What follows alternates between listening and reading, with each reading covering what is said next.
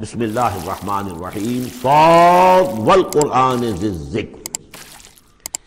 تین صورت قرآن مجید کی ایسی ہیں جو ایک حرف سے شروع ہوئی ہیں. ایک حرف حرف مقطع کہیں گے ہم اسے. مقطعات تو نہیں کہہ سکتے اس لیے کہ کئی حروف تو نہیں ہیں. ایک سورہ صاد ہے، ایک سورہ نون ہے اور ایک سورہ قاف ہے. یہ سورہ سعاد جو ہے، یہ اس گروپ میں ہے، اس میں جو ہم پڑھ رہے ہیں، جس کا مرکزی مضمون ہے توحید. سورہ قاف پہلی صورت ہے، اس گروپ، ان دو گروپوں کی، کہ جن کا مرکزی مضمون ہے آخرت اور انذار آخرت۔ اور سورت القلم بالکل ابتدائی دور کی ہے۔ سعود والقرآن ذکر یہ بھی نوٹ کر لیجیے کہ سعود پر یہاں آیت نہیں ہے۔ ایک حرف جہاں آیا ہے وہ آیت نہیں ہے۔ البتہ دو دو پر حامیم، یاسین، یہ آیت ہے تاہا یہ آیت ہے۔ لیکن کہیں کہیں تین تین پر بھی آیت نہیں علی فلام را آیت نہیں ہے۔ علی فلام میم آیت ہے۔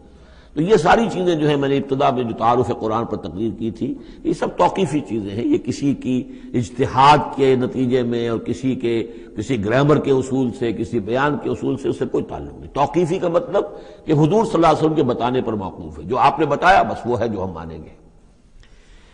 والقرآن ذکر اور قسم ہے اس قرآن کی جو ذکر والا ہے۔ اب ہم وہ صورتیں بھی پڑھ چکے ہیں جن میں قرآن کو از ذکر کہا گیا یہاں ذکر کہا گیا ذکر والا قرآن۔ جس میں ذکر ہے اللہ کا۔ فی ذکر و کم یہ بھی ہم پڑھ چکے ہیں۔ لیکن از ذکر انا نحن نزلنا ذکر انا لہو لحافظون۔ ہم نے ہی یہ از ذکر نازل کیا ہے۔ جو دی ریمائنڈنگ اور اس کے اندر ریمائنڈنگ ہے۔ یہ ریمائنڈنگ کا حامل ہے، بات ایک ہی ہے۔ لیکن یہ کہ اس کے بعد، قسم کے بعد مقسم علیہ یہاں نہیں ہے۔ قسم کس چیز پر کھائی؟ قسم ہے اس قرآن کی جو ذکر والا ہے۔ مقسم علیہ کہاں ہے؟ بلی لذین کفرو فی عزت و شقاق یہ تو مقسم علیہ نہیں ہے۔ یہ میں آپ کو بتا چکا ہوں سورہ یاسین میں کہ جو وہاں پر آیا ہے یاسین والقرآن الحکیم انک لمن المرسلین۔ وہ انک لمن المرسلین، اس قسم کی تمام قسمیں جو قرآن میں آئی ہیں، اس کے بعد مقسم علیہ جو ہے وہ سمجھیے کہ وہی ہے کہ قرآن گواہ ہے اس پر۔ قرآن ثابت کر رہا ہے کہ اے محمد صلی اللہ علیہ وسلم، آپ اللہ کے رسول ہیں۔ بل الذین کفروا فی عزت و شقاق۔ لیکن جن لوگوں نے کفر کی روش اختیار کی ہے، وہ بڑی جھوٹے غرور کے اندر، جھوٹی انا ان کی ہے اور آپ کے زندم زندہ میں اور آپ کے مقابلے میں آ کر انہوں نے موقف اختیار کر لیا ہے۔ اپنے غرور اور زندم زندہ میں۔ کم اہلک نامن قبل ہی من کرن فنادو۔ کتنی ہی ہم نے قوموں کو اس سے پہلے ہلاک کیا ہے، پھر وہ لگے، چیخنے چلانے جب عذاب الہی آیا۔ وہ لا تہین مناس۔ حالانکہ پھر وہ وقت گزر چکا تھا کہ جس میں کوئی خلاصی ہو سکتی۔ یعنی جب موت آتی ہے، موت کے آثار شروع ہو جائیں تو انفرادی توبہ کا دروازہ بند۔ جب عذاب کے آثار شروع ہو جائیں تو پھر قوم کی توبہ کا فائدہ نہیں۔ ہاں سوائے قوم یونس اللہ قوم یونس۔ واحد ایک مثال ہے۔ وہ آج انجاؤ منظر منہم اور ان کو بڑا تعجب ہے کہ ان کے پاس آیا ہے خبردار کرنے والا انہی میں سے۔ وہ قال الکافر حاضہ ساحر کذاب اور یہ کافر کہتے ہیں کہ یہ ساحر ہے اور کذاب ہے۔ یہ دیکھ لیجیے، یہ لفظ جو ہے، یہ بہت ثقیل لفظ ہے، لیکن یہ قرآن مجید میں آیا ہے۔ اور یہ نوٹ کر لیجیے کہ اصل میں یہ میں عرض کر چکا ہوں کہ چوتھے سال کے بعد یہ جو دو گروپ ہیں صورتوں کے، جن میں سے پہلے گروپ کی آٹھ صورتیں ہم پڑھ چکے ہیں، اور دوسری کی تیرہ صورتوں میں سے اب ہم آگے آ گئے ہیں، ان میں چار پڑھ چکے ہیں۔ سورہ سبا اور فاتر، یاسین اور صافات۔ پانچویں صورت یہ ہے سعود یہ ہے سن چار سے سن آٹھ تک کی بالعموم سوائے صافات کے۔ اس کو آپ نے دیکھا کہ پانچ رکوعوں میں ایک سو بیاسی آیات ہیں، وہ بالکل وہی انداز ہے، چھوٹی چھوٹی صورتیں۔ رکو جو ہے پانچ ہیں، ایک سو بیاسی آیات ہیں۔ ایک ایک رکو کے اندر تریپن آیات بھی ہیں، ایک رکو ایک رکو کے اندر اس سورہ مبارکہ میں۔ بہرحال تو یہ صورت جو ہے اس وقت کی ہے جبکہ وہ جو کشاکش تھی عرب میں، وہ شدت اختیار کر چکی تھی۔ لہذا ان کا اب جو، ان پر جو حملہ حضور پر وہ کر رہے تھے، وہ بھی اب شدید ہو چکا تھا۔ ابتدائی دور میں صرف کہا تھا مجنون، معلوم ہوتا ہے کوئی ان کا دماغی توازن ٹھیک نہیں رہا۔ کسی نے ہمدردانہ بھی کہا کہ معلوم ہوتا ہے کہ کچھ، جیسے ہم بھی کبھی کہتے ہیں کہ کوئی شخص چلہ کشی کرتا تھا، کوئی خشکی چڑھ گئی ہے، کیا ہو گیا ہے؟ اس طرح کا معاملہ ہو گیا ہے، یہ جایا کرتے تھے، بیٹھتے تھے وہاں غار ہرا میں، پتہ نہیں کوئی آسیب آ گیا ہے یا کیا ہوا ہے۔ تو ہمدردی کے انداز میں بھی اتبا ابن ربیہ نے ایک مرتبہ کہا کہ بھتیجے میرے بڑے تعلقات ہیں۔ بڑے عاملوں سے، کاہنوں سے میں واقف ہوں۔ واقع اتنا مجھے بتائیے، اگر آپ کو اس طرح کا مسئلہ ہے، تو میں کسی کاہن کو اور کسی عامل کو بلا کر آپ کا علاج کراؤں۔ تو کچھ ہمدردی بھی تھی، کچھ ویسے استحضا بھی تھا، کچھ تمسخر بھی تھا، لیکن یہ کہ وہ انداز اور تھا۔ اب جو آ کر انداز ہو گیا، انہیں یہ خطرہ ہو گیا تھا کہ یہ تو بہت شدید ہمارے لیے، اب جو صورتحال ہے، یہ تو اب یہ آندھی بن گئی ہے۔ ہمیں تو، ہم نے سمجھا تھا، مشت غبار ہی ہے۔ بس یہ ایک ریت کی ایک مٹھی مٹھی ہے اور کچھ نہیں ہے، یہ تو ایک آندھی بن گئی جکڑ بن گیا۔ لہذا اس کا راستہ روکنا ضروری ہے۔ تو اب ان کا جو حضور پر ذاتی حملہ ہے، وہ بھی سخت ہو گیا ہے۔ وقال الکافر حاضہ ساحر کذاب۔ انہوں نے کہا کہ یہ جادوگر ہے، جھوٹا ہے۔ اجعل الالحت الہ واحدہ۔ دیکھیے، یہ ہے اصل مضمون، توحید۔ ان صورتوں کا جو اصل مرکزی مضمون ہے، کیا اس نے تمام آلیہ کو بس ایک الہ بنا دیا؟ سارے الہ ختم کر دیے، بس ایک اللہ۔ ان هذا لشيء عجاب، یہ تو بڑی عجیب بات ہے۔ وانطلق الملأ منهم ان امشوا واصبروا على الهتكم ان هذا لشيء يراد۔ بڑا نقشہ کھینچ دیا ہے، جس کو ورلڈ پکچر کہتے ہیں۔ کہ ایسا نقشہ ہے جیسے کہ حضور کھڑے ہیں، دعوت دے رہے ہیں، اور کچھ لوگ ہیں، مجمع بھی ہے، کچھ ان کے سردار بھی ہیں۔ وہ سردار بھی سن رہے ہیں۔ اور یہ سب سن کر کہتے ہیں ون تلق الملا خود بھی چل پڑے وہاں سے۔ ون تلق الملا منو اور لوگوں سے کہا، امشو، جاؤ جاؤ، کہاں کھڑے ہو؟ کیوں سن رہے ہو؟ امشو، جاؤ۔ وسمرو والا علیحت عمر جبے رہو اپنے معبودوں کے اوپر۔ یہ محمد کے کہنے سے اپنے کسی معبود کو ترک نہ کر دینا۔ ون تلق الملا منہم انمشو وسمرو والا علیحت ان یراد یہ تو کوئی خاص مقصد معلوم ہوتا ہے ان کا۔ ان کی نیت کچھ خراب ہے، یہ کوئی حکومت چاہتے ہیں شاید، کوئی اپنا غلبہ اور اقتدار چاہتے ہیں، یہ بات جو ہے ایسی ویسی نہیں ہے، یقیناً اس کے پیچھے کوئی بڑا مقصد ہے۔ ان لشی جس کا ارادہ کیا گیا ہے، کوئی اسکیم ہے۔ ما سمعنا بهذا فی الملت الاخرہ، ہم نے تو ایسی بات سنی نہیں۔ ہمارا پچھلا چلا آ رہا ہے، ہمارا دین چلا آ رہا ہے، ہماری روایات ہیں، ہمارے آبا و اجداد کی باتیں ہیں جو نسل بدا نسل منتقل ہوئی ہیں۔ یہ بات جو آج یہ کہہ رہے ہیں، وہ ہم نے تو سنی نہیں۔ ان ہاضا اختلاف یہ نہیں ہے مگر گھڑی ہوئی چیز ہے، خلق کی ہوئی چیز ہے۔ اختلاف، باب افتعال خلق سے۔ اونزلہ علیہ ذکر من بیننا کیا انہی پر یہ ذکر نازل ہونا تھا ہمارے ماں بہن سے؟ کیا ہمارے اندر کوئی اور نہیں تھا؟ بڑے بڑے چودھری تھے، بڑے بڑے سردار تھے، بڑے بڑے سرمایہ دار تھے۔ اونزل علیہ ذکر من بیننا بل ہوا فی بل ہم فی شک من ذکری۔ اصل بات یہ ہے کہ یہ میرے ذکر کے معاملے میں شک میں پڑ گئے ہیں۔ بل لما یذوق عذاب، بس اب تو جب ابھی انہوں نے چونکہ چکھی نہیں ہے میری کوئی مار، اس لیے انہیں شک ہے۔ ام اندہ خزائن رحمت ربک العزیز الحماب۔ کیا ان کے اختیار میں ہے تیرے رب کے خزانے؟ اللہ جو العزیز ہے وہ خواب ہے، دینے والا ہے۔ کیا ان کا اختیار تھا کہ وہ ان سے پوچھ کر دیتا کہ رسالت کس کو دوں؟ نبی کس کو بناؤں؟ کیا ان کے ہاں پاس اس کا اختیار ہے؟ ام اندہم خزائن رحمت ربک العزیز الوحاب ام لہم ملک السماوات والارض وما بینہما فلیرتقوا فی الاسباب۔ تو کیا ان کے پاس ہے پادشاہی آسمانوں اور زمین کی؟ اور جو ان کے دونوں کے مابین ہیں، ان سب کی فلیرتقوا فی الاسباب، تو چاہیے کہ رسیاں تان کر آسمان پر چڑھیں۔ جند ما ہنالک محذوب من الاحزاب۔ تو جیسے پہلی بہت سی قومیں ہلاک ہوئی ہیں، ایک یہ قوم بھی معلوم ہوتا ہے کہ اب اپنی ہلاکت کو دعوت دینے پر تل گئی ہے۔ جند ما هنالك محزوم من الاحزاب كذبت قبلهم قوم نوح وعاد وفرعون ذو الاوتاد وثمود وقوم لوط واصحاب الايكه اولئك الاحزاب۔ ان كل الا كذب الرسل فحق عقاب۔ صدق اللہ العظیم۔ یہ بھی ایک لشکر ہے، ان میں سے کہ جو اس سے پہلے ہلاک کیے جا چکے ہیں، ان کے قسمت میں بھی اب اسی طرح کی ہلاکت لکھی جا چکی ہے۔ اگلی آیتوں میں ذکر ہو رہا ہے جیسے قوم نو قوم ہود، اسی طریقے سے ذوالعتاد، فرعون، سمود اور قوم لوت یہ سب ہلاک ہوئی ہیں۔ اسی طرح سے اب یہ قریش بھی جو ہے معلوم ہوتا ہے کہ اسی انجام سے دوچار ہونے کا فیصلہ کر چکے ہیں۔ قذبت قبلہم قوم نوح جٹلایا تھا ان سے پہلے قوم نوح نے اور عاد نے، وعاد و فرعون اور فرعون ذوالعتاد میخوں والا۔ کیونکہ ان کا لشکر بہت بڑا تھا، تو جب وہ لاؤ لشکر کے ساتھ چلتے تھے، تو بہت سے گھوڑوں پر اور خچروں پر تو صرف وہ جو کھوٹے ہوتے ہیں، کہ جن سے کہ خیمے گاڑے جاتے ہیں، اس کے لیے تو وہی لگے ہوئے ہوتے تھے۔ وہ سمود اور قوم سمود و قوم لوت لوت کی قوم و صحاب العقا اور یہ قوم شعیب جو بن والے تھے۔ الاق احزاب، یہ ہیں وہ جماعتیں، یہ ہیں وہ گروہ، یہ ہیں وہ قومیں کہ جو ہلاک ہو چکی ہیں۔ ان کل اللہ کا زبر رسولہ ان سب نے رسولوں کی تکذیب کی، فحق عقاب، تو وہ میرے سزا کے اور میری عقوبت کے مستحق ہو گئے۔ وما ينظر هؤلاء الا صيحه واحده ما لها من فواق۔ اور یہ لوگ بھی اب منتظر نہیں ہیں، مگر صرف ایک چنگھاڑ کے، ایک ہی چنگھاڑ ہوگی ہماری طرف سے۔ مالحا من فواق، جس میں کوئی وقفہ نہیں ہوگا۔ یہ ایک مسلسل۔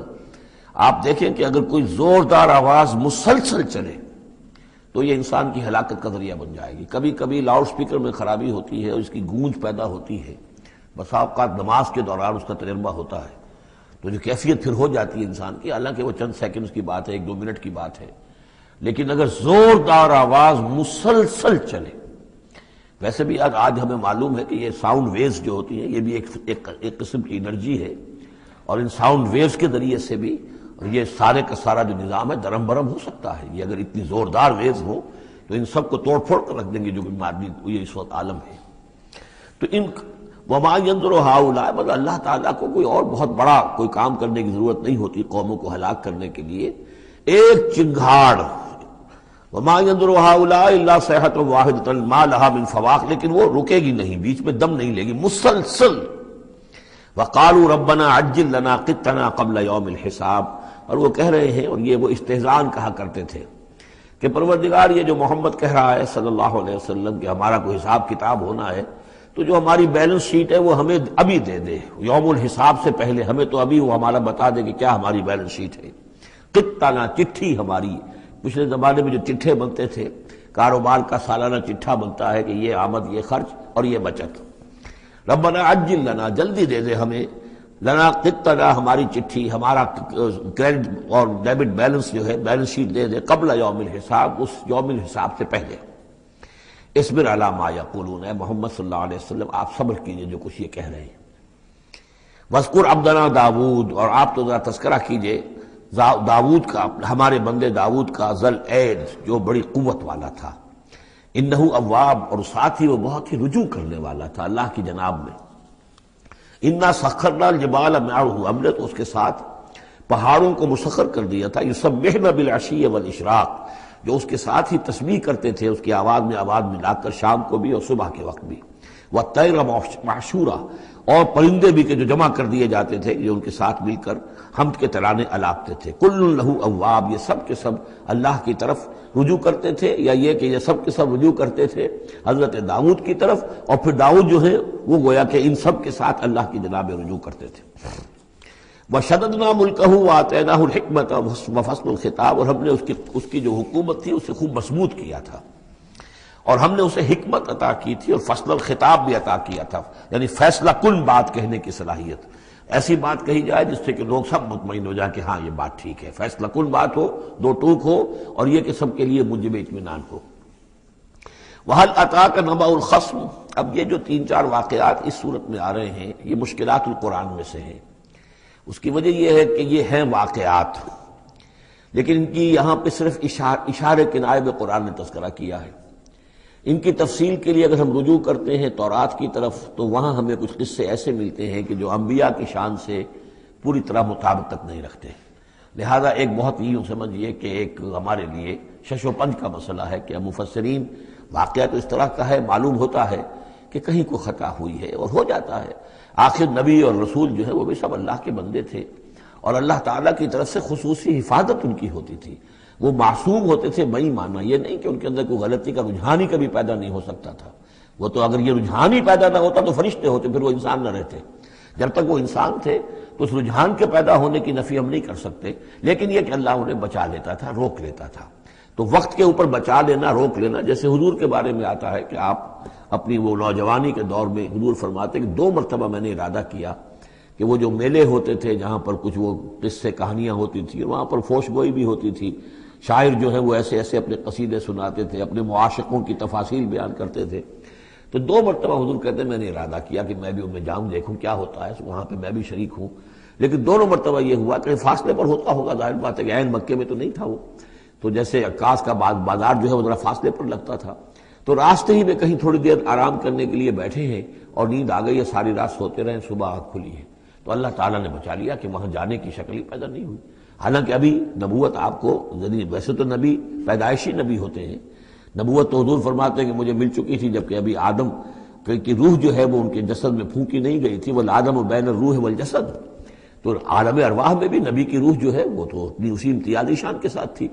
لیکن یہ کہ نبوت کا ظہور ہوا ہے جب آپ کی عمر چالیس برس کی ہوئی ہے۔ لیکن اس سے پہلے بھی، بچپن میں بھی۔ اور لڑکپن میں بھی اور اس کے بعد آگے جو ہے جوانی اور نوجوانی میں بھی اللہ پوری طرح حفاظت کرتا ہے۔ لیکن حفاظت کا مطلب یہی ہے کہ کوئی غلط بات کا ارادہ اگر پیدا ہو بھی جائے کسی وجہ سے تو اللہ تعالیٰ ایسے انتظامات کر دیتا ہے کہ اس کی تکمیل کی نوبت نہیں آتی۔ اب یہ جو ایک واقعہ ہوا ہے حضرت داؤد علیہ السلام کا، اس کے پیچھے جو قصہ بیان کیا گیا ہے جو تورات میں ہے وہ تو یہ ہے کہ ان کی بہت سی بیویاں تھیں، یہ جو تعدد ازدواج چار کی پابندی تو حضور کی شریعت میں آ کر ہوئی ہے، ورنہ اس سے پہلے تو آپ کو معلوم ہے، بادشاہ لوگ جو ہوتے تھے، ان کے حرم ہوتے تھے بڑے بڑے۔ تو حضرت داؤد علیہ السلام کا بھی بڑا حرم تھا، بیویاں تھیں بہت سی۔ لیکن اسی اسنا میں انہیں کسی اور عورت کے بارے میں ان کے دل میں خیال پیدا ہو گیا۔ رغبت ہوئی، اس سے وہ شادی کرنے کی خواہش پیدا ہوئی۔ اور وہ کسی شخص کی کے نکاح میں تھی۔ اس خیال کا دل میں آنا جو ہے، بس اس کے اوپر ٹوکنے کے لیے کہ تم کیا سوچ رہے ہو، یہ غلط بات سوچ رہے ہو۔ اللہ تعالیٰ نے ایک شکل پیدا کر دی۔ وحل عطا کا نبا الخصم؟ اور کیا تمہارے پاس آ چکی ہے دو دعوے داروں کی خبر؟ یعنی کچھ لوگ آئے تھے جن کا ایک مقدمہ تھا، ان کی خبر۔ اس تصور المحراب، جبکہ انہوں نے دیوار پھلانگ کر محراب میں، حجرے میں، جہاں حضرت داؤد علیہ السلام اللہ کی عبادت میں یاد میں مشغول تھے، وہاں پہنچ گئے۔ پہرے داروں وغیرہ سے سب سے بچ کر فصیل کو یا دیوار جو تھی اس کو پھلانگ کر آ گئے۔ اس دخل و اللہ داودا اب جب وہ وہاں وہ تنہا اللہ کی یاد میں تھے انہوں نے دیکھا اللہ داود نے یہ دو اشخاص آ گئے ہیں فض ہوں تو وہ ڈرے ان سے کہ پتہ نہیں کس نیت سے آئے کس ارادے سے آئے ہیں۔ دو انسان ہیں۔ قالو لا تخفر ان کا کہ آپ ڈرے نہیں۔ خسمان بغا بادنا اللہ بادل ہم دو ہیں ایک دوسرے کے مقابلے کے فریق۔ خسم کہتے ہیں جو ایک دوسرے کے بالمقابل ہوں۔ مخالف۔ ہم دو مخالف ہیں، بغا بادنا اللہ بادل ہم میں سے کسی نے دوسرے پر زیادتی کی ہے۔ فحکم بیننا بالحق، تو ہمارے مابین حق کے ساتھ فیصلہ کیجیے۔ ولا تشتت، اور دیکھیے اسے ٹالیے نہیں۔ آپ کہہ کہ کل آنا، پرسوں آنا، یہ نہیں، یہ معاملہ ہمارا بڑا ایمرجنسی والا ہے۔ فوری طور پر ہم چاہتے ہیں کہ آپ ہمیں بتائیں۔ وہ دینا الا سوائے سرات اور سوائے سرات اور ہمیں پھر ہدایت دیجیے سیدھے راستے کی طرف کہ کیا کون سی شکل بہتر ہے، کون سا راستہ صحیح ہے۔ ان نہذا آخی اب یہ جو مدعی تھا وہ کہہ رہا ہے، یہ میرا بھائی ہے۔ لہو تسعون و تسعون ناجتن اس کے پاس ننانوے دمبیاں ہیں۔ یعنی اس کا جو ہے بہت بڑا جو ہے ریوڑ ہے اس کے پاس۔ وہ لیا ناجت الواحدہ میری ایک ہی دمبی ہے۔ اصل میں اس تورات کے واقعے کو اگر ہم سمجھے تو اس کا مطلب یہ ہے کہ ایک شخص کے پاس ننانوے بیویاں ہیں، میرے پاس صرف ایک بیوی ہے۔ فقال اکفل نیہا اب وہ کہہ رہا کہ یہ بھی مجھے دے دے۔ وہ ازنی فی الخطاب، اور اس نے مجھے دبا لیا ہے۔ یعنی دباؤ ڈال رہا ہے، مجھ پر پریشرائز کر رہا ہے، جو گفتگو کرتا ہے۔ تو بڑے زوردار انداز میں کرتا ہے۔ کالا لقد ظلم کا بے سوال کا بے سوال ناجت کے علاج آج ہی حضرت داؤد نے فوراً کہا کہ یہ تو بڑی ظلم کی بات ہے۔ واقعتاً اس نے بہت ظلم کیا تمہارے اوپر کہ تمہاری دمبی جو ہے اب اس پر بھی اس کی نظر ہے اور وہ اس کو چاہتا ہے تم سے لے لے اور اپنی دمبیوں میں اس کو بھی شامل کر لے، ریوڑ میں۔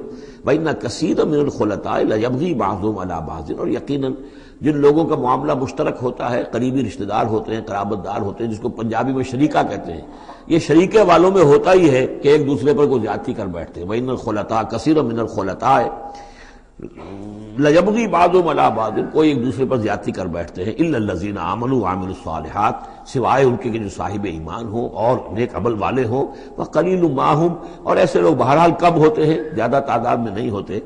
وہ ضن داود و انما فتنہ ہو اس پر اچانک خیال آیا داود کو یہ تو اصل میں سارا معاملہ جو ہے اللہ تعالیٰ نے مجھے آزمایا ہے۔ اللہ تعالیٰ نے در حقیقت مجھے متنبع کرنے کے لیے یہ ساری صورتحال جو پیدا فرمائی ہے، انہیں اپنے اس خیال کے اوپر پھر جو تنبع ہوا فخر فستغفر ربہ تو انہوں نے استغفار کیا اپنے رب سے، وخر راکعا عناب اور وہ گر پڑے سجدے کے اندر، رکوع کہہ دیجیے، سجدہ کہہ دیجیے، راکعا گر پڑا جھک کر اور رجوع ہوا۔ اس نے اللہ تعالیٰ کی طرف اپنے آپ کو پوری طریقے سے متوجہ کر لیا۔ یہ آیت سجدہ ہے۔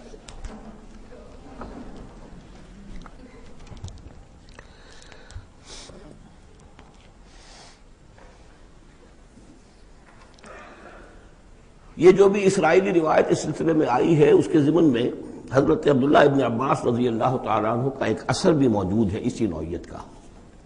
یعنی ان کا قول بھی موجود ہے۔ اب یہ نہیں کہا جا سکتا کہ وہ مرفوع، آپ انہوں نے سنا ہو حضور سے، یا یہ کہ وہ صرف جو ہے روایت انہوں نے یہود سے سنی ہو اور اسی کو بیان کر دیا ہو اللہ عالم۔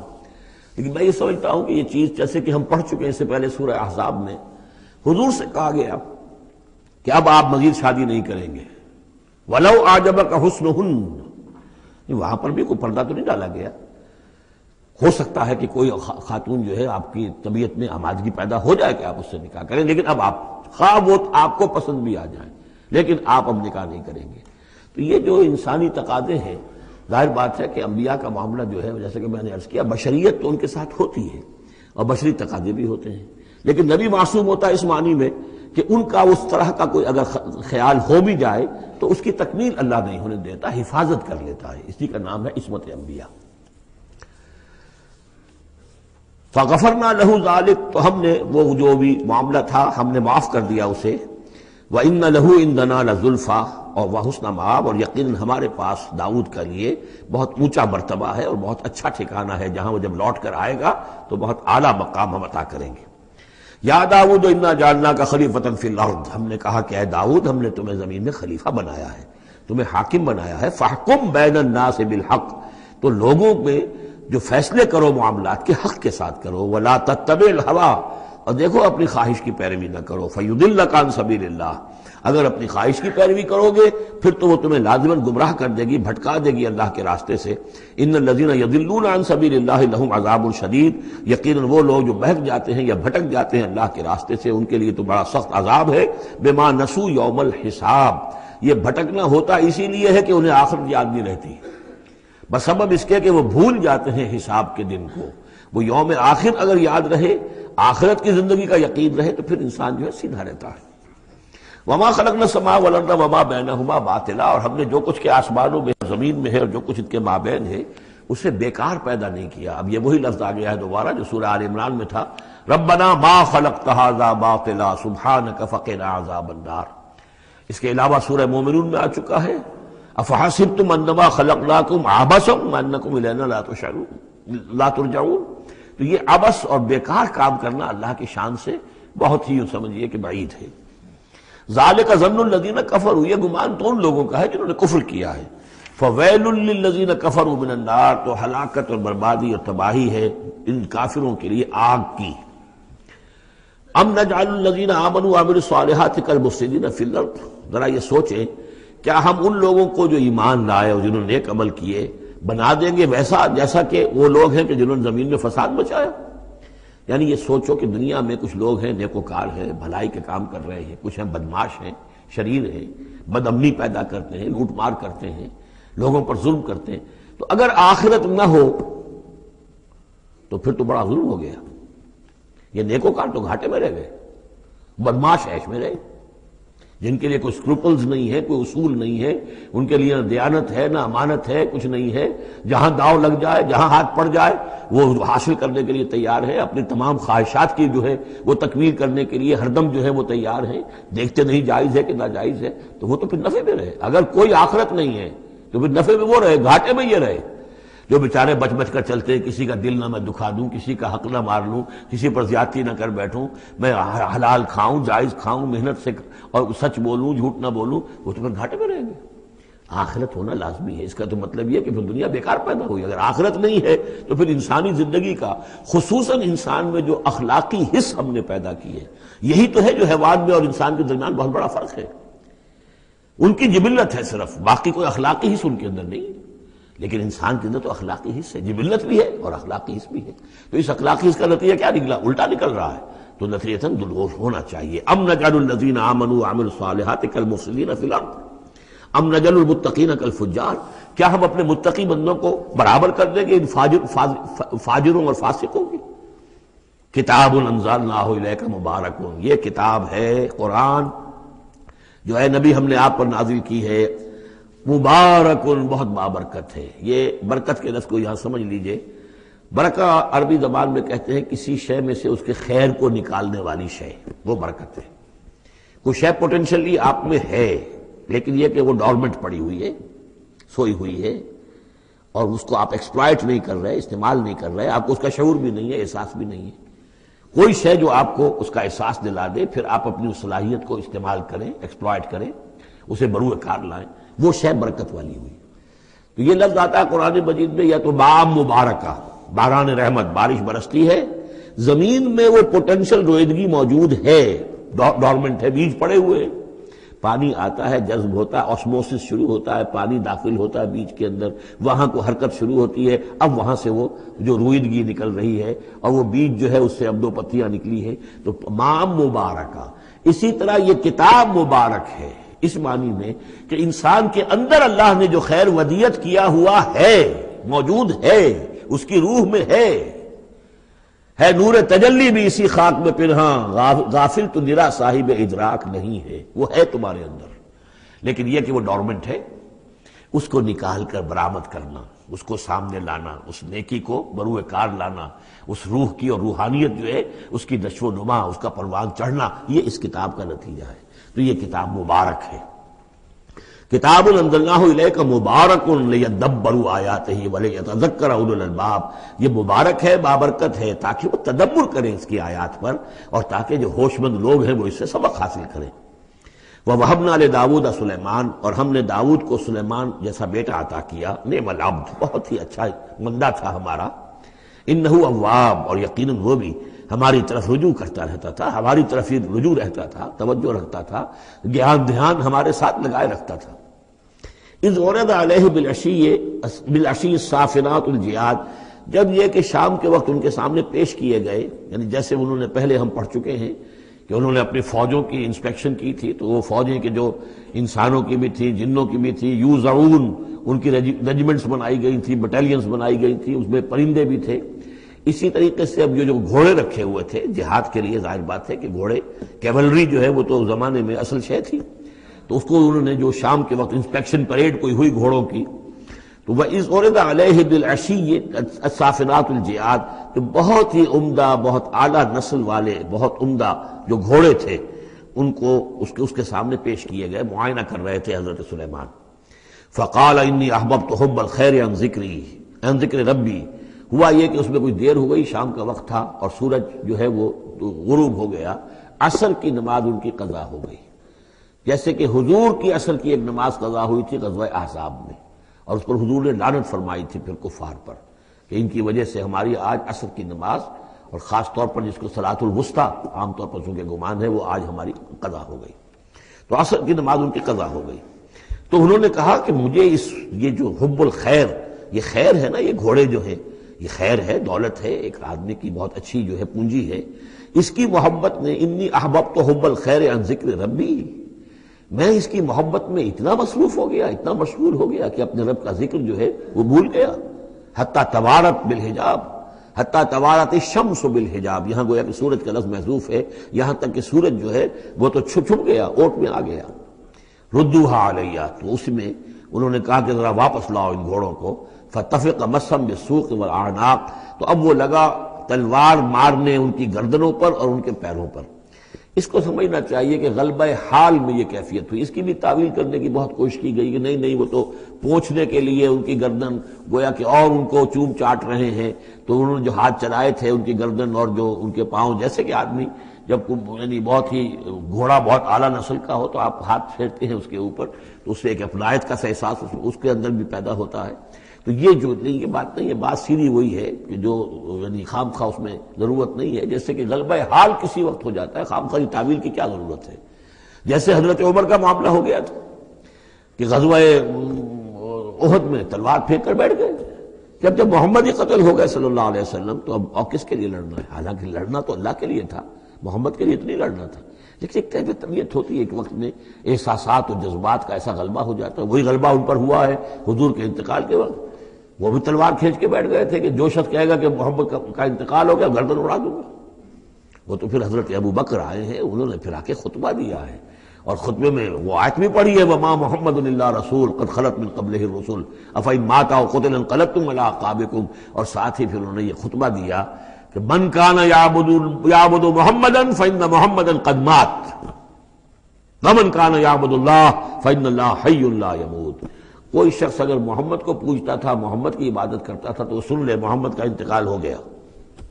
اور جو کوئی اللہ کو پوچھتا تھا اور اللہ کی بندگی کرتا تھا، اس کو جان لینا چاہیے۔ اللہ پر کبھی موت واقع نہیں ہوگی، وہ زندہ رہنے والا ہے۔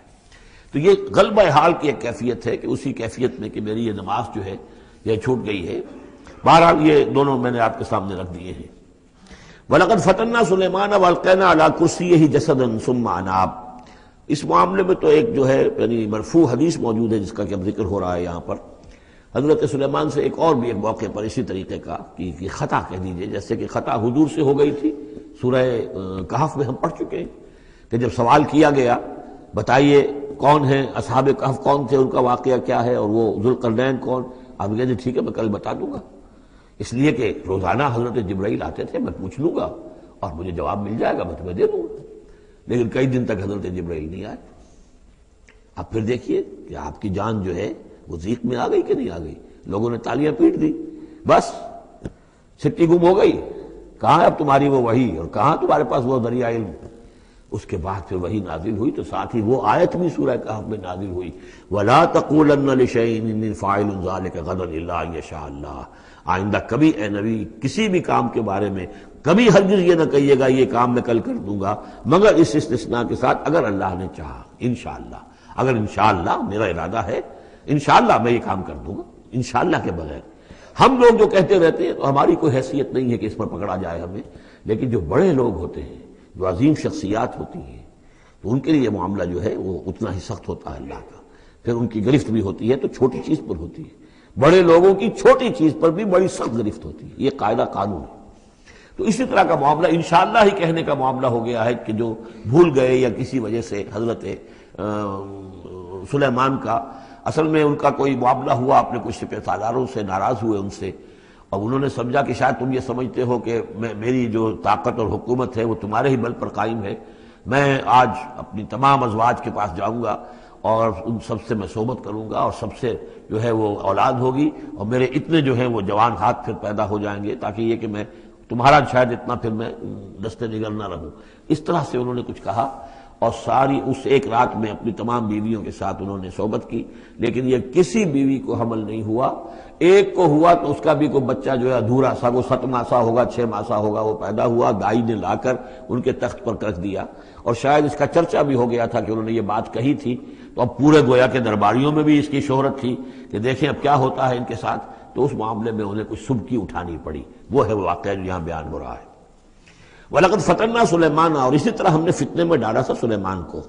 والقینہ عَلَى كُرْسِي یہی جسد ثُمَّ اناب اور ہم نے اس کے تخت پر ایک ایسا جسد لا کر لوتھڑا سا ڈال دیا تھا۔ وہ دائی نے لا کر ڈالا کہ یہ وہ آپ کی جو تھی قسم، اس کا یہ نتیجہ ہے اللہ کی طرف سے۔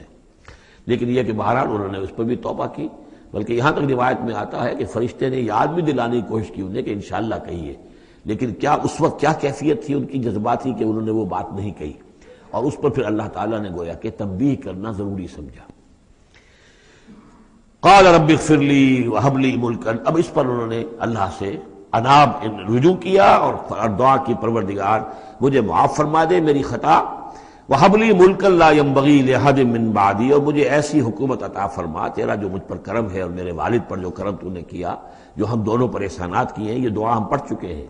رب اوزنی ان اشکر نعمتک اللتی انمت علی وعلا والدی وان عمل صالحا۔ یہ حضرت سلیمان کی دعا پہلے آ چکی ہے۔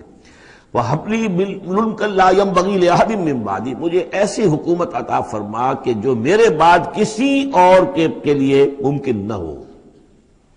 اور یہ واقعہ ہے کہ ان کی جو حکومت تھی وہ جنات پر بھی تھی ان کی حکومت ہوا پر بھی تھی۔ ان کا قانون پرندوں پر بھی چل رہا ہے۔ اس اعتبار سے واقع یہ مثالی ہے ایک معاملہ۔ لا ينبغي لأحد بعدی من بعدی میرے بعد پھر کسی اور کو اس طرح کی حکومت نہ ملے تو اس طرح کی حکومت پھر اللہ تعالیٰ نے کسی اور کو نہیں دی۔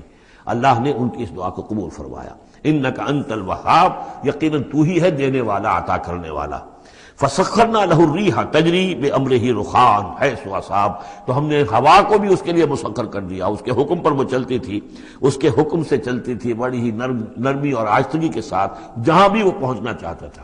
یعنی ہوا کی ڈائریکشن بھی ان کے اختیار میں، اور وہ ہوا جو ہے پھر ان کے سفیروں کو لے کر سمندروں کے اندر بھی، جدھر وہ جانا چاہتے تھے، وہ آرام کے ساتھ لے کر جاتی تھی۔ وہ شیاطین کل بنائم و غواس اور ہم نے مسخر کر دیے تھے اس کے لیے وہ شیاطین یعنی جنات۔ کل بنائن جو سب کے سب بنانے والے تھے عمارتوں کے بنا بننا کہتے معمار کو۔ بننا حسن البنا شہید رحمت اللہ علیہ ان کا خاندانی پیشہ جو ہے وہ تعمیر وہ معمار خاندان سے تھے۔ اور عربوں میں کوئی اس میں آر نہیں ہوتا۔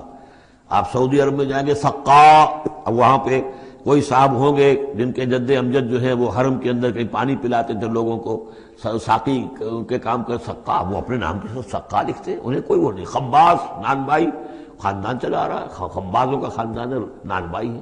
تو کام کے اندر تو پیشے میں عیب نہیں رکھیے نہ فرحات کو نام۔ سیدھی سی بات ہے، تو وہ بننا وہ ان کے لیے تھے معمار۔ وغواس اور غوطہ خور، غوطہ کرنے والے سمندروں میں غوطہ لگا کر اور وہاں سے موتی وغیرہ نکالنے والے۔ وہ آخرین مقررین فی الاسفاد۔ جو لوگ تو رہتے تھے، اور کچھ اور قوم ہوتی تھی کہ جو جکڑی ہوئی زنجیروں میں، یہ جنات کی طاقت جو ہے، ایک ایک نفری وہ ہوتی تھی جو رکھی رہتی تھی کہ جہاں ایمرجنسی میں ضرورت ہو تو پھر ان کو وہاں سے استعمال کیا جائے۔ ہاضا عطاؤنا، اور ہم نے ان سے کہہ دیا تھا، اے سلیمان، یہ ہماری عطا ہے تمہارے لیے۔ فمن او امسک، چاہو تو یہ تقسیم کرو لوگوں کے اندر، لوگوں پر احسان بھی کرو، اور چاہو تو اپنے پاس رکھو۔ بغیر حساب، بہرحال ہم نے اس پر حساب کوئی نہیں رکھا، ہم تم سے اس پر کوئی حساب نہیں لیں گے۔ وہ ان لہو ان دنا ذلفا و حسن ماب اور یقیناً اس کے لیے ہمارے پاس بہت اونچا رتبہ بھی ہے اور بہت عمدہ ٹھکانہ بھی ہے جب وہ لوٹ کر آئیں گے تو ان کو وہاں پر بہت عمدہ ٹھکانہ ملے گا۔ وسکر امدنا ایوب از نادا رب انی مسن شیطان و بنسمن و عذاب اور ذرا یاد کیجیے، ذکر کیجیے، حضرت ایوب کا علیہ السلاۃ والسلام، ہمارا بندہ ایوب، اس نے پکارا اپنے رب کو انی مسن شیطان و بنسمن و عذاب کے شیطان نے مجھے چھوت لگا دی ہے، بڑی تکلیف اور ایزا اور اور اور تکلیف اور اس کی بیماری تھی، جلدی کوئی بیماری تھی، جس کی وجہ سے سارا جسم جو ہے گل گیا تھا۔ اور اس درجے اس میں کوئی تعفن بھی تھا، کیڑے بھی پڑ گئے تھے کہ ان کے ان کی اہلیہ، بیوی، بچے، ایک ایک وقت تک تو انہوں نے خدمت کی، جب تک کی پھر بعد میں آ کر سب ہمت ہار کر ان کو چھوڑ کر چلے گئے تھے۔ تو گویا کہ اس قسم پرسی کے عالم میں پھر انہوں نے یہ دعا کی۔ تو اللہ تعالیٰ نے فرمایا کہ ارکس میں رجلے کا، ذرا اپنا پاؤں مارو زمین پر۔ ہاضا مختصل یہ اب تمہارے اس ایڑی ایڑی کے جو زور سے جو چشمہ ہم نے نکال بہایا ہے، یہ تمہارے نہانے کے لیے ہے باردن و شراب ٹھنڈا ہے اور پینے کے لیے بھی ہے۔ تو شاید جس کو ہم کہتے ہیں گندھک کا کوئی چشمہ نکل آیا ہو جو کہ جلدی امراض کے لیے چشمے ہوتے ہیں، جہاں جاتے ہیں لوگ، جلدی امراض کے لوگ جا کر وہاں جا کر نہاتے ہیں تو اس سے شفا ہوتی ہے۔ تو اللہ نے اس کے اندر وہ شفا ان کے لیے رکھ دی، وہ ٹھیک ہو گئے۔ وہبنا لہو اہ لہو امسلح اب پھر ان کی اولاد بھی اور ان کی اہل و عیال سب واپس بھی آ گئے اور یہ کہ مزید بھی ہم نے انہیں اور اہل و عیال عطا کیے۔ مسلحم معاہم رحمت منا، یہ سب ہماری جانب سے رحمت کا مظہر تھا وہ ذکر اور یاد دہانی اور نصیحت لے الباب ہوش مند لوگوں کے لیے۔ وہ خود میں ید کا رزقن کسی موقع پر اپنی بیوی سے ناراض ہو کر ان کہا تھا کہ میں تمہیں سو کوڑے لگاؤں گا یا سو تمہیں ماروں گا کمچیاں تو غصے میں آ کر اب وہ قسم کھا لی اس کے اوپر۔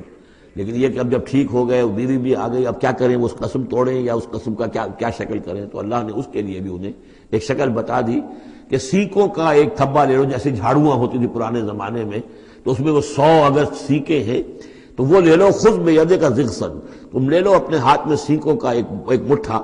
فضرب بھی اور اس سے ایک ضرب لگا دو، ولا تحنس۔ اس سے یہ کہ تمہاری وہ قسم ٹوٹے گی، نہیں، وہ سو وہ جو ہے کمچیاں ایک ہی مرتبہ لگ جائیں گی۔ انا وجل نہ ہو صابرن ہم نے اسے اپنا صبر کرنے والا بندہ پایا۔ نعم العبد، کیا ہی عمدہ وہ اچھا بندہ تھا ہمارا۔ انہو اواب، یقیناً وہ بھی ہماری طرف رجوع کرنے والا انسان تھا۔ وسکر عبادنا ابراہیم و اساق و یعقوب اول العدی والابصار اور تذکرہ فرمائیے، ہمارے بندوں ابراہیم کا اور اسحاق کا اور یعقوب کا۔ وہ بھی تھے بڑے ہاتھوں والے یعنی بڑے ان کے یعنی قوتوں والے۔ ابسار اور آنکھوں والے، مشاہدہ بھی، غور و فکر بھی، ہاتھوں والے بھی، طاقت والے بھی۔ ان اخلصنا بے خالص ذکر دار ہم نے ان سب کو خالص کر لیا تھا۔ ایک خالص شے کے لیے۔ ایک خالص شے کون سی ہے؟ آخرت کے گھر کی یاد دہانی۔ یعنی وہ لوگوں کو ہمیشہ متوجہ کرتے رہتے تھے کہ اصل زندگی آخرت کی زندگی ہے۔ ان اخلصنا بے خالص ایک خالص شے کے لیے ہم نے انہیں خالص کر لیا تھا۔ یعنی ان کی زندگی میں اب ایک ہی، جیسا کہ میں نے بارہ عرض کیا ہے کہ جو اللہ کا بندہ اس مقام پر پہنچ جائے، پھر واقعہ یہ ہے کہ اسے دنیا کی دولت سے دلچسپی نہیں، دنیا کی کسی اور دوسری چیز کی طرف رغبت نہیں۔ اس کے وقت کا، اس کا ایک ایک منٹ، اس کی توانائی، جو بھی اللہ نے اس کو دی ہے، اس کا خون کا ایک ایک قطرہ وقف ہو جاتا ہے پھر اس کام کے لیے کہ خلق خدا کو خدا کی طرف بلائے، اللہ کی طرف بلائے اور انہیں بچائے آخرت کے انجام سے، برے انجام سے۔ اس کے سوا کیا ہو؟ جیسے ہمارے شیخ معین الدین اجمیری رحمۃ اللہ علیہ وہ آئے تھے ہندوستان میں۔ اگر اس وقت آ کر بیٹھے ہیں، اجمیر میں، جبکہ اجمیر ابھی جو ہے وہ کفر کا گڑھ تھا، راجپوتوں کا مرکزی مقام۔ اس لیے کہ شیخ علی حجویری جو لاہور میں ہیں، جن کو داتا گنج کہتے ہیں، وہ تو اس وقت آئے ہیں لاہور میں، جبکہ لاہور اسلامی حکومت میں شامل ہو چکا تھا۔ لیکن یہ کہ یہ معید الدین اجمیری کیونکہ ابھی تک مسلمانوں کی حکومت وہاں تک نہیں پہنچی تھی۔ جو سمجھیے، اجمیر جو ہے وہ تو راجپوتوں کا گڑھ۔ اور اس میں جو ہے وہاں جا کر بیٹھ گیا۔ اللہ کا بندہ اور دعوت دے رہا ہے۔ وہ کاروبار تو کوئی کرنے نہیں آئے تھے وہ، بلکہ یہ کہ اللہ کی طرف بلانا۔ تو اس کے لیے ہم نے خالص کر لیا تھا۔ جو بھی اللہ کا بندہ اپنے آپ کو اس کے لیے خالص کر لے وہ گویا کہ اللہ تعالیٰ کے مستفین میں سے ہو جاتا ہے، وہ لفظ آب آ رہا ہے۔ ان اخلصنا بے خالص ذکر دار و ان لمن المصطفین الاخیار اور یقیناً وہ ہمارے ہاں ہمارے نزدیک وہ بڑے چنے ہوئے لوگ ہیں، اچھے لوگوں میں سے، نیک لوگوں میں سے چنے ہوئے لوگ، چنیدہ لوگ۔ جو شخص اپنی زندگی کا ہدف اسی کو بنا لے، مقصد اسی کو بنا لے، جینا مرنا اسی کے لیے ہو جائے، تو ظاہر بات ہے کہ اللہ تعالیٰ کے یہاں پر اس کا اونچا مقام ہے۔ وسکر اسماعیل یسا وضا کر کے فلور ذکر کیجیے اسماعیل کا بھی اور یسا یاس۔ اب ان کے بارے میں صحیح طور پہ ہم کچھ نہیں کہہ سکتے، یہ دو جو ہیں۔ یسا اور ذوالکفل۔ ذوالکفل کے بارے میں تو میں عرض کر چکا ہوں کہ ایک گمان یہ ہے اور مجھے اس اس سے اتفاق ہے کہ یہ گوتم بدھ کی طرف اشارہ ہے، وہ اللہ کے نبی تھے۔ ذوالکفل پے یہاں فے سے بدل گیا ہے۔ کپل وستو کا شہزادہ۔ سدھارتھا گوتما بدھا۔ بدھا تو اصل میں اس کا لقب ہے جو بعد میں بن گیا ہے۔ سدھارت اس کا نام تھا۔ سدھارتھا گوتما بدھا۔ اور کپل وستو کی ریاست تھی، اس کا یہ شہزادہ تھا۔ وہ کلو من الاخیار یہ سب کے سب بھی بڑے ہی عمدہ لوگوں میں سے تھے۔ ہاضا ذکر یہ ایک ذکر ہے یہ ایک تذکرہ ہے۔ وہ ان للمتقین حسن حسن ماب اور یقیناً ان متقین کے لیے، تمام متقین کے لیے بہت ہی اچھی جگہ ہے لوٹنے کی، آنے کی اچھا ٹھکانہ ہے۔ جنات عدن، وہ باغات وہ باغات کے جو رہنے والے ہوں گے ریزیڈنشل ہوں گے، بسنے والے، مفتحت مفتحت مفتحت لہم الابواب، جن کے درواز کے دروازے ان کے لیے کھلے رکھے گئے ہوں گے۔ یہ اس سے بھی آگے آگے بھی آئے گا سورہ زمر میں بھی کہ جنتوں کا معاملہ یہ ہے کہ اس کے دروازے کھلے ہوں گے جنتوں کے استقبال کے لیے۔ جیسے کہ مہمان کے لیے جب آپ کو اس کا استقبال کرنا ہو تو یہ تو نہیں کرتے دروازے بند کر کے بیٹھ جائیں کہ وہ آ کے دستک ہی دے گا، کبھی کھولیں گے۔ اس کا تو انتظار ہو رہا ہوتا ہے تو دروازے کھلے ہوتے ہیں۔ لیکن جہنم کے بارے میں یہ آتا ہے کہ جب مجرم پہنچ جائے گا، جیسے جیل کا دروازہ ہوتا ہے، جب وہاں پہنچ جائے گا، پھر وہ دروازے کھولے جائیں گے۔ یہ مضمون جو ہے سائملٹینیس کنٹراسٹ کی شکل میں جو ہے، وہ آئے گا سورہ زمر میں۔ ان کے لیے دروازے کھلے رکھے جائیں گے جنات عدن کے۔ متقین فیہا، یدعون فیہا بفاقہت اور اس میں وہ ٹیک لگا کر بیٹھے ہوں گے اور وہ آرڈر دیں گے، یدعونا، آرڈر دیں گے، مانگیں گے۔ طلب کریں گے، اس میں بفاقہت میوے بھی کثیرت کثرت سے وہ شراب اور مشروبات بھی، عمدہ سے عمدہ مشروبات۔ وَإِنَّهُمْ قَاسِرَاتُ الطرف اطراب اور ان کے پاس ہوں گی، ایسی ان کی ان کی بیویاں کہ جو نیچی نگاہ والی ہوں گی اور ہم عمر ہوں گی۔ ہاضا ماتو ادون یوم الحساب، یہ ہے جس کا تم سے وعدہ کیا جا رہا ہے حساب کے دن۔ ان نہذا رزق نا ما لہو من نفاد، اور یہ ہوگا ہمارا رزق، ہمارا عطا کردہ دی ہوئی چیزیں۔ اب یہ کبھی ختم نہیں ہوں گی یہ نہ سمجھنا کہ یہ نعمتیں ختم ہو جائیں گی، یہ باقی رہیں گی ہمیشہ ہمیش۔ ہاضا و ان تاغیر شر آپ یہ تو ہے اہل جنت کا معاملہ۔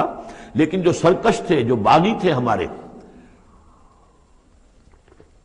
ان کے لیے ہے برا لوٹنے کا مقام، بری جگہ جہنما جہنم یسلاؤ نہا جس میں وہ داخل ہوں گے بے سلمہاد اور وہ بہت ہی برا بچھونا ہوگا۔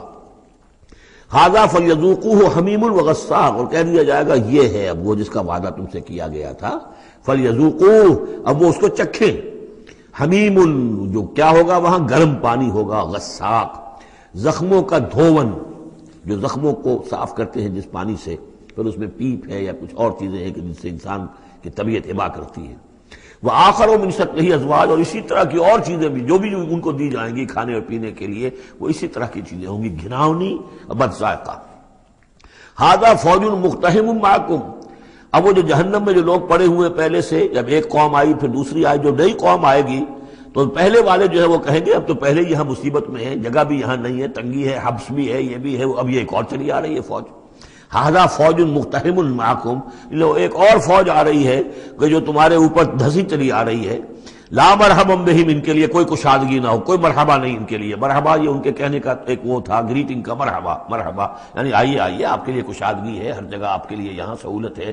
وہ کہیں گے لا مرحبم بہم، ابھی نئے آنے والوں کے لیے یہ نئی انسٹالمنٹ آ رہی ہے جہنمیوں کی، یہاں کوئی ان کے لیے جگہ نہیں۔ ان سال النار یہ ہیں گھسے آنے والے آگ میں۔ کالو بل انتم، وہ آنے والے کہیں گے نہیں، تم، لا مرحبم بکم تمہارے لیے نہ ہو کوئی کشادگی تمہارے لیے کوئی مرحبا نہ ہو، انتم قدم تم ہو لنا فبیس القرار، یہ تو تم لوگ ہو جنہوں نے یہ سارا سامان ہمارے لیے فراہم کیا ہے۔ تم ہم سے پہلی نسل ہو، تم نے وہ سارے جو ہے غلط طور طریقے ایجاد کیے تھے، تم نے وہ عقائد جو ہے وہ ہمیں سکھائے تھے۔ ہم تو تمہارے کرتوتوں کی وجہ سے، تمہاری پیروی کرنے کی وجہ سے یہاں تمہارے اس جہنم میں آئے ہیں۔ بل انتم قدم تو منہ ہو لنا فبیس القرار۔ تو یہ بہت ہی بری جگہ ہے رہنے کی، ٹھہرنے کی۔ قالوا ربنا من قدم لنا هذا فزده عذابا ضعفا في النار۔ اور وہ کہیں گے، پروردگار، جن لوگوں نے ہمارے لیے یہ چیزیں کی اور ہمیں ان راستوں پر ڈالا، اور ان کو تو تو اور عذاب دے، اضافہ کر ان کے عذاب میں ضعفا دگنا عذاب آگ کا۔ وقالوا ما لنا لا نرى رجالا كنا نعدهم من الاشرار۔ وہ کہیں گے، یہ کیا بات ہے؟ ہم یہاں آپ لوگوں کے ساتھ کچھ لوگ تھے جنہیں ہم سمجھتے تھے بڑے گھٹیا لوگ، ان کی کوئی حیثیت نہیں تھی کمی کاری لوگ تھے۔ وہ محمد پر ایمان لے آئے تھے صلی اللہ علیہ وسلم۔ وہ ہم تو ان کو استضائی کرتے رہے۔ وہ یہاں نظر نہیں آ رہے آپ کے پاس، ظاہر بات ہے وہ تو جنت میں گئے، وہ یہاں تھوڑا ہی ہوں گے۔ تو وہ مالنا لا نرا جانن اور کیا ہوا ہے کہ ہم نہیں دیکھ رہے ان لوگوں کو؟ وہ یہاں نظر نہیں آ رہے کہ جن کو ہم کلنا نعدہم من الاشرار جنہیں ہم برے لوگ سمجھتے تھے۔ اتخذناہم سکرین، کیا ہم نے ان کو صرف ایسے ہی جو ہے ایک یعنی ہنسی ٹھٹا بنا لیا تھا؟ ام زاغت عنہم الابصار، یا ہماری نگاہیں جو ہیں ان سے کج ہو گئی ہیں، دیکھ نہیں پا رہی ہیں، ہم انہیں دیکھ نہیں پا رہے، ہماری نگاہیں جو ہیں ان سے چوک رہی ہیں۔ ان نظالک لحق تخاصم اہل النار، تمہیں یقین رکھنا چاہیے کہ یہ سب کچھ جو ہم بیان کر رہے ہیں حق ہے۔ یہی جھگڑا اور یہی جو ہے ان جہنمیوں کے مابین یہی تکرار ہوگی۔ قل انما انا منذر کہہ دیجیے نبی کہ میں تو بس ایک منظر ہوں خبردار کرنے والا۔ وما من الا اللہ الواحد القہار نہیں ہے کوئی الہ معبود سوائے ایک اللہ کے جو الواحد ہے، اکیلا ہے اور قہار ہے۔ پوری طرح چھایا ہوا ہے۔ رب السماوات والارض وما بینہم العزیز الغفار۔ وہ آسمانوں اور زمین کا رب ہے، مالک ہے۔ اور جو جو کچھ ان کے مابین ہے، اس کا بھی العزیز ہے، زبردست اور الغفار ہے، بخشنے والا۔ کل ہوا نبا عظیم۔ میں نبی کہہ دیجیے، یہ ایک بہت بڑی خبر ہے جو محمد لے کر آئے ہیں صلی اللہ علیہ وسلم۔ یہ وہی لفظ ہے کہ اس سے آخری پارا شروع ہوتا ہے۔ اما يتسالون عن النبا العظیم الذي هم فيه مختلفون۔ کلا سيعلمون ثم کلا سيعلمون هذا نبا قل هو نبا عظیم، انتم عنه موردون اور تم اس سے اعراض کر رہے ہو۔ بہت بڑی خبر ہے تمہارے لیے۔ تمہارے لیے یہ بہت ہی فیصلہ کن بات ہے۔ لیکن یہ کہ تم اعراض کر رہے ہو۔ ما کان علی من علم بالملائ الاعلی اذ یختصمون اور مجھے کچھ معلوم نہیں ہے کہ ملائ اعلی میں کیا اختلافات ہو رہے ہیں۔ یہ لفظ نوٹ کر لیجیے، اس کا ذکر سورہ زمر میں بھی آئے گا کہ فرشتوں کی آرا بھی مختلف ہوتی ہیں۔ اور وہ بھی کسی کی رائے ہوگی کہ اب عذاب بھیج دیا جانا چاہیے، کوئی سوچتا ہوگا کہ نہیں، ابھی اور تاخیر ہونی چاہیے۔ تو اس طرح سے آپس میں کچھ گفتگو کرتے ہیں۔ ہوتا وہ جو آخری فیصلہ اللہ کرتا ہے، لیکن ظاہر بات ہے کہ وہ بھی عاقل ہستیاں ہیں۔ تو ان کا بھی ان کے ہاں جو ہے وہ کوئی آرا ہوتی ہے تو آرا کے اندر کبھی کبھی اختلاف بھی ہو جاتا ہے۔ ما کان علی من علم بالملائ الاعلی میرے پاس کوئی علم نہیں ہے ملائ اعلی میں فرشتے جو ہیں وہ کس کس چیز میں اختلاف کر رہے ہیں؟ اذ یوحا الی ان یوحا الا انما انا نذیر مبین۔ مجھے تو بس یہ میری طرف وہی کیا گیا ہے کہ میں ہوں صرف واضح طور پر خبردار کر دینے والا۔ اس قال ربک للملائکۃ انی خالق بشرا من طین۔ اب مصحف میں یہ آخری اور ساتویں مرتبہ یہ قصہ ابلیس و آدم آ رہا ہے۔ Seventh time and the last time جب جب کہا تھا آپ کے رب نے فرشتوں سے کہ میں بنانے والا ہوں ایک بشر بشر من تین، ایک انسان بنانے والا ہوں مٹی سے۔ فیضا سوے تو ہوں جب میں اس کی تخلیق مکمل کر لوں، درست کر دوں، ٹھیک ٹھیک بنا چکوں نک سکھ سے درست کر دوں۔ اس کو فنیشنگ ٹچز دے دوں۔ تصویہ اس معنی میں آتا تخلیق تصویہ سب حسم رب کل آگا الدی خلق فسوا والذی قدر فہدا۔ تو تخلیق کے بعد تصویہ ہے۔ یہ وہاں انشاءاللہ اس کو تفصیل سے بات ہوگی۔ فیضا سموے تو جب میں اسے پورا بنا لوں نفق تو روحی اور اس میں میں اپنی روح میں سے پھونک دوں فقعو لہو ساجدین تو گر پڑنا اس کے سامنے سجدے میں۔ اب یہ روح ہی کو ضرور نوٹ کیجیے۔ اور فیضا سویت ہوں وہ نفق تو روحی فقعو لہو ساجدین۔ تو گویا کہ مسجود ملائک ہونا آدم کا اس روح ربانی کی بنیاد پر ہے۔ اس سے پہلے وہ آدم جو بھی کچھ ہے، جب تک روح نہیں پھونکی گئی ہے، اس وقت تک وہ مسجود نہیں ہے۔ اس کا رتبہ، مقام جو بھی ہے، وہ اس روح ربانی کی وجہ سے جو اس میں پھونکی گئی ہے۔ فسجد الملائے کا تو کل مجمعون آج جو کہ تو پہلے بھی آ چکی ہے، کس قدر زور ہے، سجدہ کیا تمام فرشتوں نے، سب کے سب نے جمع ہو کر، اکٹھے ہو کر۔ اللہ ابلیس نہیں کیا، ابلیس نے۔ استقبرہ و کان امن الکافرین، اس نے استقبار کیا، گھمنڈ کیا اور وہ کافروں میں سے ہو گیا یا کافروں میں سے تھا۔ پہلے ہی سے اس میں کفر تھا، چھپا ہوا تھا، تکبر تھا، چھپا ہوا تھا۔ اب وہ کفر اور تکبر جو وہ سامنے آ گیا۔ جیسے منافقین کا نفاق غزوہ عذاب کے موقع پر ان کی زبانوں پر آ گیا۔ کالا یا ابلیس، ما منا کا لما خلق تو بے اور کہا، اللہ نے، اے ابلیس، کیا ہوا تجھے؟ کس چیز نے منع کیا؟ کس چیز نے روکا؟ کہ تو سجدہ نہ کرے، اس کو جسے میں نے اپنے دونوں ہاتھوں سے بنایا ہے۔ اب یہ یدیا جو ہے، یہ خاص طور پر قابل غور ہے، دونوں ہاتھوں سے بنانے سے کیا مراد ہے؟ یا تو قرآن میں ایدی بھی آتا ہے، اپنے اپنے ہاتھوں سے ایدی نہ۔ تو وہ تقریر جو ہم نے ان کے لیے جو بنائے ہیں، چوپائے بنائے، اپنے ہاتھوں سے بنائے ہیں املہ مالکون، یہ سورہ یاسین میں آ چکی لیکن دونوں ہاتھوں سے بنانا، میرے نزدیک اس کا مطلب یہ ہے کہ دو عالم جو ہے عالم خلق اور عالم امر۔ ان دونوں کو اللہ نے جمع کیا ہے آدم میں اور انسان میں۔ ایک ہی ہستی ہے اللہ اللہ لہ الخلق والامر۔ خلق اور امر دونوں اسی کے ہیں۔ یہ دونوں عالم اسی کے تسلط میں ہے اسی کی حکومت قائم ہے۔ امر پر بھی، عالم امر اور عالم خلق پر بھی۔ اب فرشتہ صرف عالم خلق سے متعلق ہے، اس کا، اس عالم امر سے متعلق ہے، اس کا کوئی وہ حیوانی جسد نہیں ہے، اس کی کوئی بھوک نہیں ہے، اس کو کوئی پیاس نہیں ہے، اس میں کوئی نر اور مادہ نہیں ہے، ان کے کوئی جنسی جذب کچھ نہیں، عالم امر کی شے۔ باقی یہ جنات ہیں، ان کے اندر یہ سارا عالم خلق کی شے، ان میں روح کا سوال ہی نہیں۔ باقی جتنے بھی حیوانات ہیں، عرضی، یہ عالم خلق کی شے ہے انسان واحد مخلوق ہے اللہ کی، جس میں پھر دونوں چیزیں آ کر جمع ہوئی ہیں کہ عالم خلق سے ہے، اس کا حیوانی وجود، یہ جسم جو بنا ہے، یہ مٹی سے بنا ہے۔ اور لیکن اس کے اندر اللہ نے لا کر وہ امانت جو ہے عالم امر کی روح، وہ جو ہے اس کے اندر پھونکی ہے۔